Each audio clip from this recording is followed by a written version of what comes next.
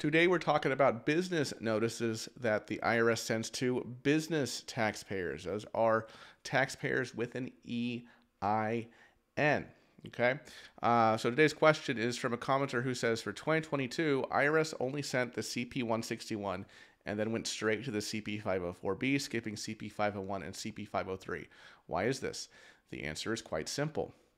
The CP 501 and the CP 503 are only sent to individual taxpayers. For business taxpayers, once you get that CP 161, that's the equivalent of the CP 14 sent to individuals. That's kind of the first notice you get after you file a tax return with a balance due.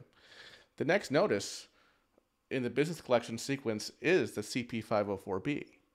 For individuals, there's a CP 514, then there's a CP 501, then there's a CP 503, and then there's a CP 504. Okay, so um, that's it. That's that's the reason why. But I'll, I'll, tell you what. And here's an example one from one of our clients. Once you get the CP 504, this particular one's for payroll.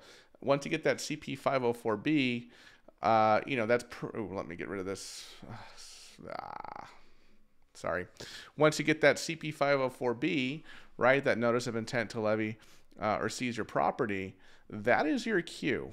Um, that the IRS is probably getting ready to get pretty serious about your case.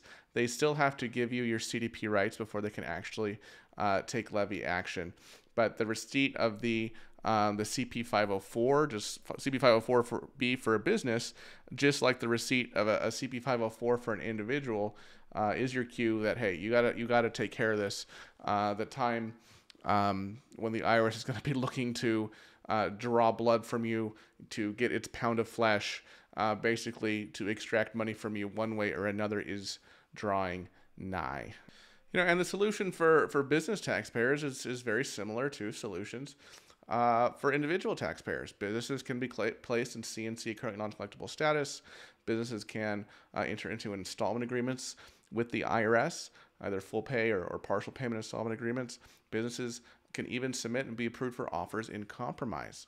You look at the it's it's really it has to do with the financial analysis of the business, just like individual resolutions cases have to do with the financial analysis of uh, the individual. So, uh, anonymous commenter, I hope I answered that question. It's a relatively straightforward answer.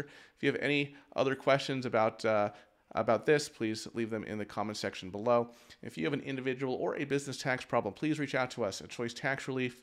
Uh, you can call us 866-8000-TAX or uh, visit uh, choicetaxrelief.com. There should be a little button here you can click to go to our website, fill out the form, and uh, we will reach out to you. I also have some other uh, tax relief videos here on the left-hand side of your screen. Thanks so much for watching, everybody. I'll see you in the next video. Bye-bye.